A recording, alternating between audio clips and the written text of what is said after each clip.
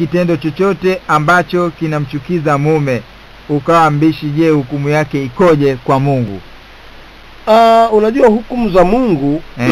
sisi hatuwezi kuzijua wala Eh. kuzitaja kwa sababu hajazisema. Eh, e, utakuwa tutakuwa si wa kweli. Ndio kama tuseme bwana huyu atapigwa virungu. Eh, huyu atatiwa moto fulani. Eh. hiyo ni kazi ya mwenyezi mungu. Sasa. Mwenyezi mungu ndo anajua hata nabii wa mwenyezi mungu isa ibn maryam. Naam walipofanya maovu watu wake e, pale inaposema wataulizwa siku ya kiama juu ya watu wake. Mm. anasema in, fa in tuadhibuhum fa innahum ibaduka. Naam wa in taghfiru lahum innaka anta lazizu lhakimu naam kama wewe utawaadhibu basi ni waja wako.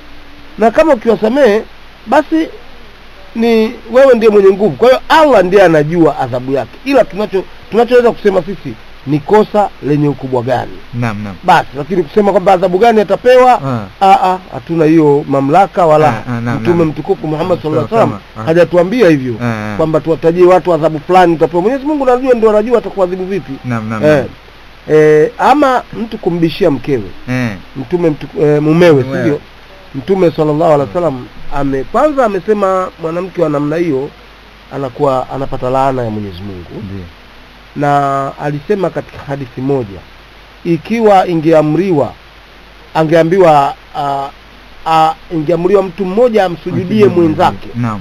basi angesema mume mke amsujudie mumewe. Ndiyo. Mwanamke hata katika swaumu za nafali ukiondoa zile za faradhi haruhusiwi kufunga bila ya idhini ya mume wake. Mm. sasa hebu fikiria swaumu ni jambo la ibada lakini mke uliyeolewa na mume wako kama mume wako bwana leo usifunge ukiondoa saumu ya faradhi kama ya ramadhani. Naam.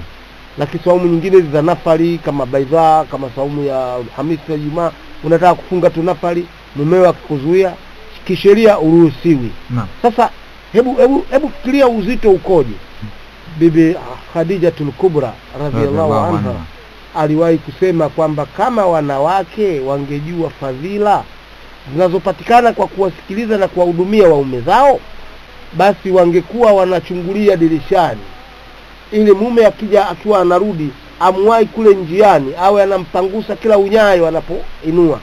Sasa hebu tazama hiyo hiyo hiyo hiyo hiyo hiyo ni haina gani. Sasa haya maelezo yote yanaonyesha jinsi gani mtu anavyoweza kwenda motoni kwa sababu ya kumpinga tu mume wake. Yaani mwanamke anaweza kwenda motoni kwa kupingana na mume wake tu ukiondoa vitu vingine. Naam.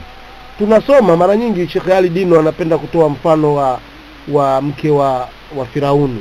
Asia radhiallahu anha ambaye mume wake alikuwa ni kafiri alikuwa si mcha Mungu alikuwa haamini habari ya Mungu tena mpinzani wa dini lakini kwa sababu ya sheria za Mungu alimtii. No. katika yale mambo ya uke na uume wao alimtii. Na Allah akamjengea nyumba maana kuna ile dua anasema unijengee yeah. nyumba katika yeah, pepo katika mm. pepo no. na Allah akamjengea nyumba peponi kwa sababu hiyo sasa wewe una mumeo wewe mumeo huyo muovu kuliko Firauni yeah? kuna duniani kuna mtu muovu kuliko Firauni kwa sasa hivi kwa hiyo huyo atakuwa mume tu labda anachelewa kurudi anarudi usiku la- lakini Firauni lilikuwa jihovu la waovu lakini bado mke wake alitakiwa kumtii kwa hiyo nadhani somo la utii naam ni somo kubwa sana ndiyo ndiyo ndiyo. katika katika Islamu ah.